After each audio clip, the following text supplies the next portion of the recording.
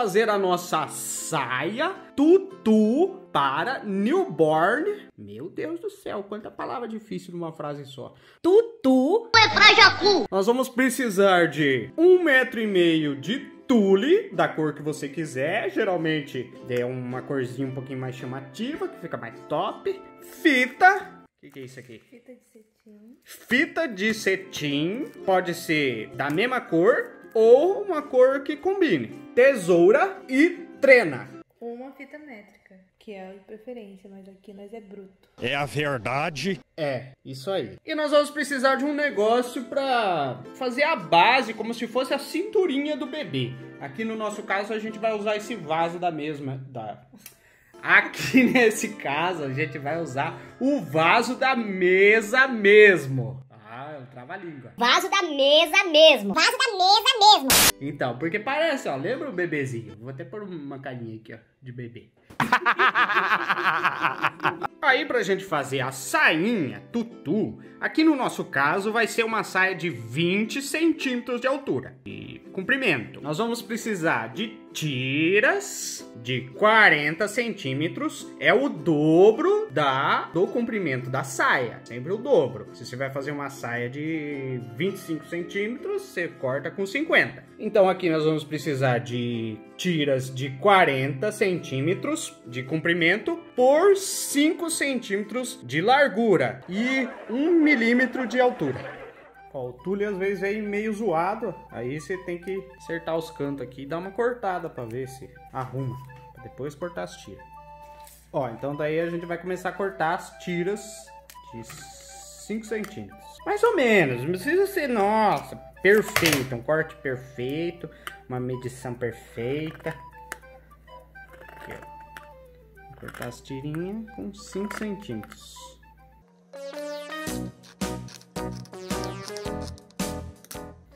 Ó, a gente tá cortando várias de uma vez, então aqui saiu quatro faces do tecido, tá?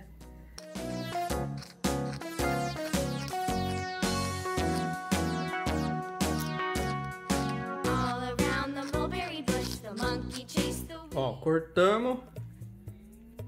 uma boa quantidade de tira. Aqui, esse aqui deu uma, duas, três, quatro, cinco, seis, sete, oito, nove, dez, onze, doze. Só que tem quatro camadas aqui, então deu bastante. A quantidade vai depender do tamanho da saia, como que você quer deixar um pouquinho mais junto, um pouquinho mais separada, beleza? Ó, daí a gente vai pegar a fita de cetim para poder fazer uma, como se fosse a cinturinha do neném. Pessoal, é, dá pra fazer também, é mais comum fazer com elástico, tá? Medir o elástico mais ou menos a cintura do bebê e fazer mais justinho e o elástico se ajusta à cintura. Porém, eu quero fazer um laço no final da, da sainha, fazer uma lação e deixar também a fita para regular no tamanho da cintura do bebê, já que a gente ainda não viu a criança, a gente não sabe exatamente o tamanho. Então, óbvio que ela é um pouquinho mais maior, é, maior que esse vaso, mas só para ter uma base que depois vai ter como regular na cintura da criança. Então, deixa aqui um tamanho que eu acho que dá para regular e dá para fazer o laço e começo a fazer a, a sainha a partir daqui. Então, vou dar um lacinho só para segurar aqui. E vou começar a partir daqui. A gente vai pegar nossas tiras. A gente vai pegar de duas em duas, tá? Uma sobre a outra. Vai dobrar ela ao meio. Dobrou ao meio. A gente vai colocar dentro da fita aqui. Ó, vai passar por baixo. E vai pegar aqui e fazer isso, ó. E puxar. Ó, pessoal, readaptamos aqui, ó, para ficar mais firme um pouco. Não quer dizer que a cintura da criança seja esse tamanho, é só depois você regular na fita. Então, ó, vamos pegar a tira, dobrar ao meio. Ó, passa o tule por dentro. Abre. E passa as fitas por dentro desse laço. Fechou. Faz tipo um nó de marinheiro. Aí você deixa uma distanciazinha, uma da outra, e vai repetindo isso aí até o final. Distanciazinha não, é lado a lado. Então, uma distanciazinha de lado a lado.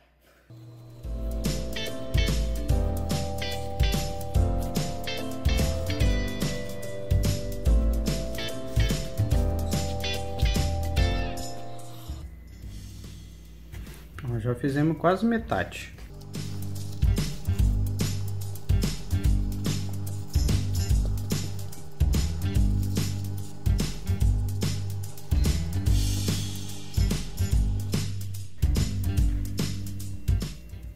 Chegando no fim. É o último.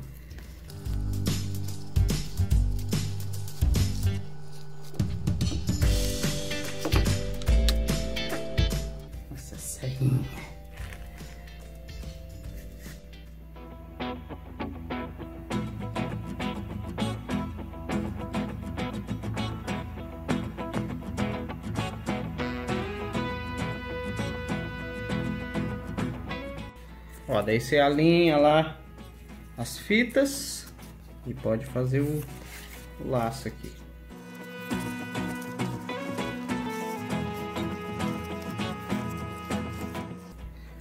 Aí depois você corta o tamanho, as pontinhas da fita. Aqui eu vou deixar porque, como eu disse, a gente não sabe o tamanho da cintura do neném. Então a gente vai... Eu vou deixar pra regular. Aqui, ó. Aqui tá o laço. Vamos supor que a cintura da, da, da criança seja menor. Precisa apertar, ó. Eu posso só puxar mais pra cá, ó. Ele vai só juntar mais. Ele fecha mais. Ah, a cintura da criança é maior. Ó, só ir afastando mais. Ó, afastando mais. Por isso que é importante a fita ser bem mais ou menos assim na cor do tule mesmo, para hora que você, se você precisar por acaso afastar para aumentar o tamanho da, da cintura, ela não, não fica destacando. Então beleza, pessoal. É isso aí, ó. Aí é só dar um laço, fazer um fazer o lacinho. Arrumar bem bonitinho. E é isso. Arruma o laço lá atrás, aqui é a nossa saída. Fechou então.